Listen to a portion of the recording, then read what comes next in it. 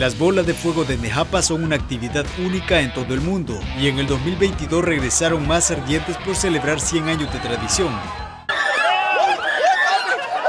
La actividad se lleva a cabo cada 31 de agosto desde 1922, dando inicio a las fiestas patronales del municipio de Nejapa y conmemora la erupción del volcán de San Salvador de 1917.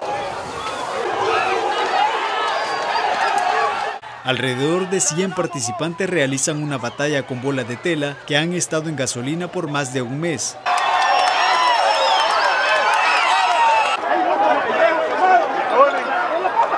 A pesar de ser una tradición de alto riesgo, son miles de personas las que asisten para vivirla desde cerca.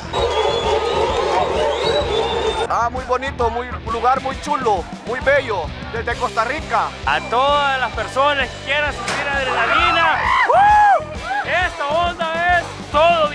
Es un evento completamente diferente en todo el país.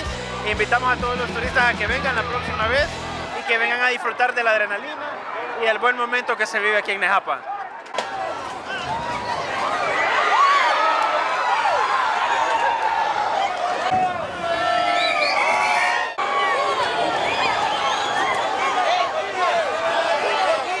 Previo a la actividad, los participantes deben de someterse a una prueba de alcotés y toman sus propias medidas para resistir las altas temperaturas.